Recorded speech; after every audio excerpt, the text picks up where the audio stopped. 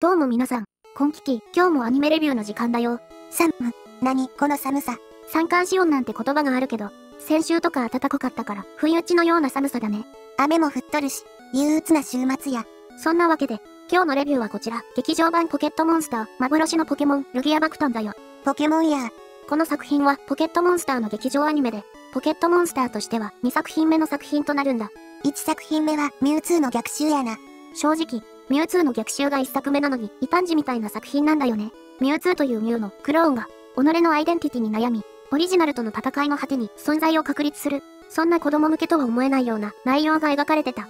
クレヨンしんちゃんでいう、大人帝国の逆襲みたいな感じの作品を1作品目でやっちゃっとるもんな。この作品は逆にいい意味で、ポケモン映画らしいんだ。言い換えれば、ベタ、後のポケモン映画の基盤となるようなテンプレート的な作品と言ってもいい。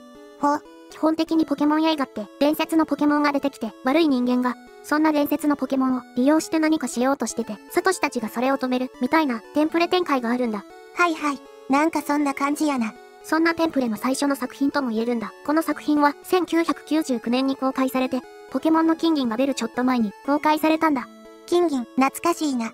コレクター自称する敵が伝説のポケモンであるファイヤーを捕獲したところから物語が始まるんだ。彼の目的は何なのか、なぜファイヤーだけでなく、サンダーやフリーザも狙ってるのか、って始まりだね。ポケモンリーグに挑戦するんやろうか。一方で、サトシたちは、オレンジ諸島巡りをしてる中で、アーシア島にたどり着くんだ。ちなみにポケモン初期ではあるんだけど、今回はたけし派でない。なんで、その代わりにケンジが出てる。なんか、こんなキャラおったな。結構レアなキャラなんだよね。初期のサトシの仲間っていうと、かすみとたけしのイメージが強いんだけど、たけしがいない期間っていうのが一時的にあるんだ。ほう、そのいない期間にいるのがケンジ。彼ってテレビアニメだと30話分くらいしか出てないんだ。半年くらいしかおらへんかったのか。そんなレアな半年の期間の出来事が映画になってるから、たけしの代わりにケンジが出てるんだ。なんやろ、子供の中には、たけしの偽物みたいに認識しとった子もおったかもしれへんな。結構レアキャラだよ。そんな彼らがたどり着いた島では、毎年のお祭りが行われてて、サトシは操り人というものに任命されてしまうんだ。島の外の人間がお祭りに強制参加されるんか、田舎の風習嫌やな。ポケモン映画といえばゲストヒロインなんだけど、今作では島の巫女であるフルーラがゲストヒロインなんだ。ちょっと生意気なおてんばな感じで、島のしきたりみたいなのに呆れつつも、巫女としての役目を全うしてるんだ。かわええな。初対面のサトシのほっぺにキスしたかと思えば、オカリナを吹きながら舞う、そんな怖く的なヒロインにサトシと共に魅了されてしまう感じなんだよね。サトシの本妻は、結局誰になったんやろうな。かすみが、ちょっとそれでツンデレ、発動させてるのも今作の魅力だね。かすみはポケモンのマイベストヒロインやで。本来は、簡単なはずのお祭りの行事なんだけど、海があれ風が吹きすさび、困難な道のりになってしまうんだ。その原因は、ファイヤーがいなくなったことなんだ。冒頭のシーンに繋がるんやな。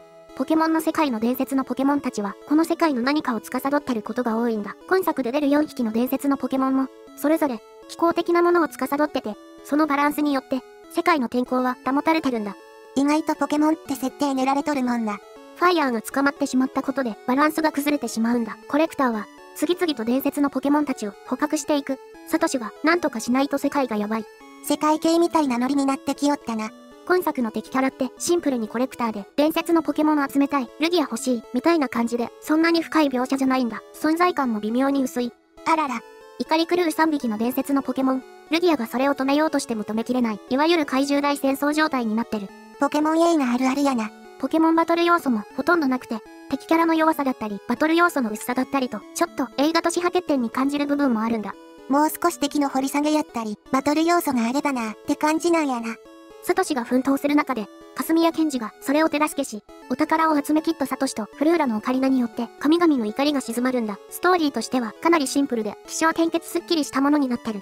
やっぱり1作品目と比べると、色々と弱い部分はありますね。まあ、1作品目が異常だったとも言えるよ。個人的には、サトシのママのセリフが妙に印象に残ってるんだ。まさかのママ、世界を救ったサトシにラストにママがこんなことを言うんだ。あなたがいるから、世界があるの。サトシ、あなたは、この世界で何をしたかったの？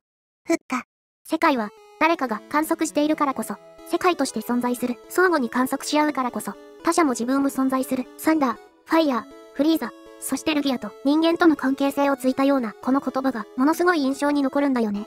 子供には伝わりきらへんけど、深いセリフやな。他者と自分自身の相互認識による自分自身の存在の確率。そういう意味では1作品目のテーマを少し匂わせる部分もあって、色々と深読みしたくなるよね。大人になった今、見返すと新たな発見があるかもしれへんな。ではまた次回。じゃん